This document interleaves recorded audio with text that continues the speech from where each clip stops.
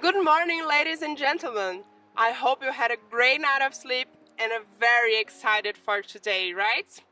So, the reporting team met for over five hours last night and worked until early this morning, reading through all of the outcomes from yesterday's sessions.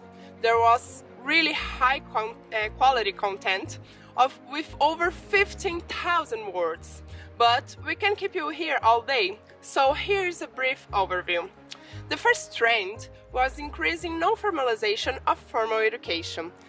This will impact our future in a number of ways, including new needs of global world where formal institutions are tapping into experimental learning, among others, to prepare young people for this world. Pressure on the relevance of our core business and demand for the new methods of learning, for new methods of learning. A second trend is shifting demographics and an aging world population. This will impact us by increasing the gap between generations, opportunities to diversify the models of recruitment of adults and volunteering, the need to redefine what it means to be young and old, and a shift in economic power. Migration, mobility, and urbanization is another trend which will impact scouting by losing talents in the NSOs due to mobility, refugees, or studying abroad, risks of loss of young members, but also opportunities for more diverse membership bases and demand for flexibility and adaptation of the ways we do scouting.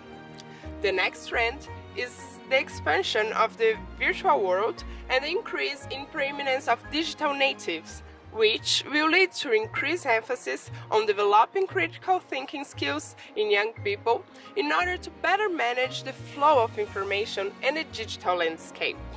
Demand for interblending of social interactions for digital natives, need to address the physical and cognitive changes in young people's development, but also blurred lines between the physical and the virtual.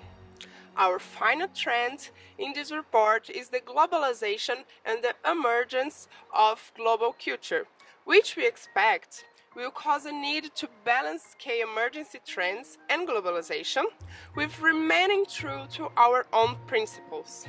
Increase in fear and insecurity, and need for scouting to reflect the societies it's in and focus on the challenges of the communities and the impact where we can have on them.